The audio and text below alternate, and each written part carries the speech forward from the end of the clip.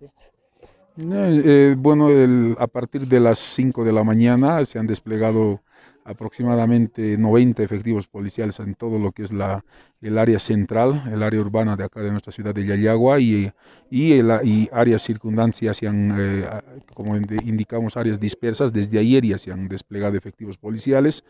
Es por eso de que, bueno, pues están, estamos trabajando con todos los efectivos que tenemos en, todas las, en todos los recintos eh, electorales y eh, hasta el momento que es eh, las 9 de la mañana no, no se ha registrado. Bueno, hemos tenido, sí, alguna, tenemos dos casos eh, que se han reportado. Eh, una, persona en el colegio Mayo A que estaría, que a las 6 de la mañana aproximadamente estaba, estaba colocando afiches.